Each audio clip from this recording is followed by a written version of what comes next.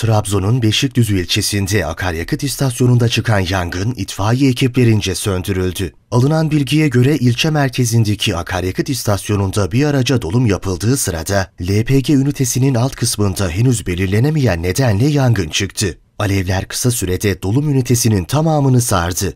Yangın ihbar üzerine olay yerine gelen Trabzon Büyükşehir Belediyesi İtfaiye Dairesi Başkanlığı ekiplerinin müdahalesiyle söndürüldü. Yangında hem LPG dolum ünitesinde hem de yakıt alımı yapan araçta hasar oluştu. Olayla ilgili soruşturma devam ediyor. Öte yandan yangın anı istasyonun güvenlik kameraları tarafından kaydedildi. Görüntülerde alevleri fark eden görevlinin hızla LPG dolum ünitesinin yanından uzaklaştığı görülüyor.